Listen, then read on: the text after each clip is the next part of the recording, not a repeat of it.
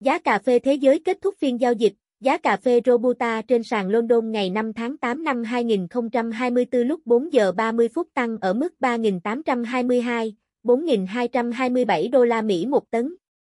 Cụ thể, kỳ hạn giao hàng tháng 9 năm 2024 là 4.227 đô la Mỹ một tấn, tăng 2 đô la Mỹ một tấn. Kỳ hạn giao hàng tháng 11 năm 2024 là 4.088 đô la Mỹ một tấn, tăng 5 đô la Mỹ một tấn. Kỳ hạn giao hàng tháng 1 năm 2025 là 3.947 đô la Mỹ một tấn, tăng 6 đô la Mỹ một tấn và kỳ hạn giao hàng tháng 3 năm 2025 là 3.822 đô la Mỹ một tấn, tăng 8 đô la Mỹ một tấn.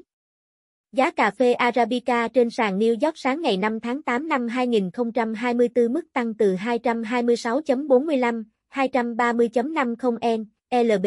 Cụ thể, kỳ hạn giao hàng tháng 9 năm 2024 là 230.50 sen, LB, tăng 1.43%, kỳ giao hàng tháng 12 năm 2024 là 229.55 sen, LB, tăng 1.39%, kỳ giao hàng tháng 3 năm 2025 là 228,35 sen, LB, tăng 1.33%, và kỳ giao hàng tháng 5 năm 2025 là 226.45 cent, LB, tăng 1.34%.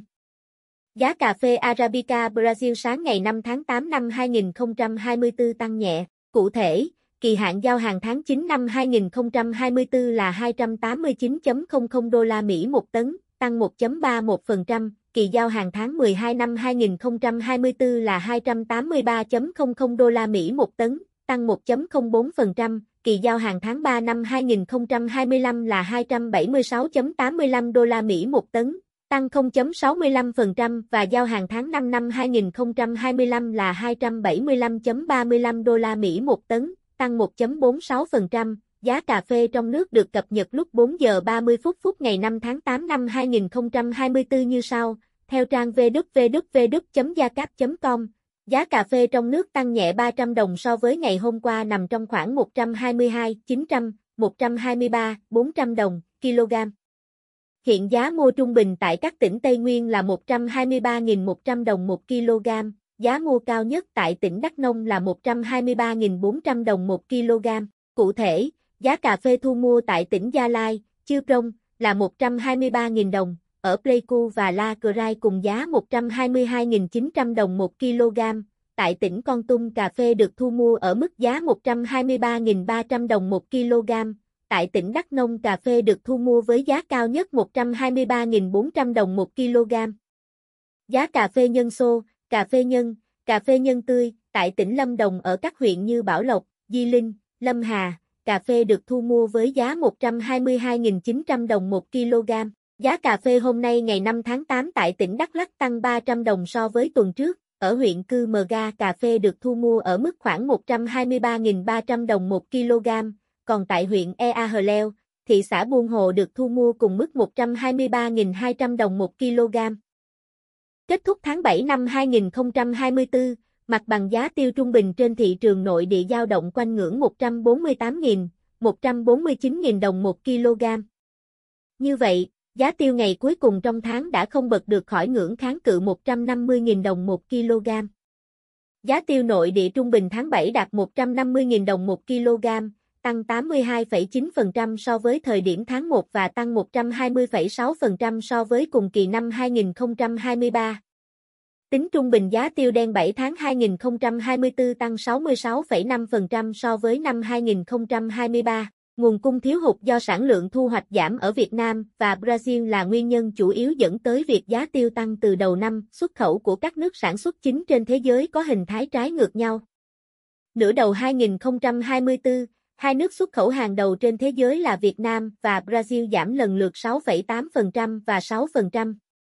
Cùng chiều hướng, xuất khẩu của Malaysia cũng giảm 8,1%, trong khi xuất khẩu của Indonesia và Ấn Độ lại tăng 48,3% và 34,1%. So với cùng kỳ năm 2023, 6 tháng đầu năm 2024, giá FOB trung bình tiêu đen và tiêu trắng ở hầu hết các quốc gia sản xuất chính tăng mạnh, trừ Ấn Độ. Cụ thể, Giá FOB trung bình tiêu đen tăng 27% và giá FOB trung bình tiêu trắng tăng 14% so với cùng kỳ năm ngoái. Mức tăng mạnh nhất được ghi nhận ở tiêu đen Brazil, kế tiếp là Việt Nam và Indonesia. Trên thị trường thế giới, cập nhật giá tiêu thế giới từ Hiệp hội Hồ tiêu Quốc tế, IPC, kết thúc phiên giao dịch gần nhất, IPC niêm yết giá tiêu đen Lampung của Indonesia đạt 7.176 đô la Mỹ một tấn, giá tiêu trắng mung tốc đạt 8.793 đô la Mỹ một tấn.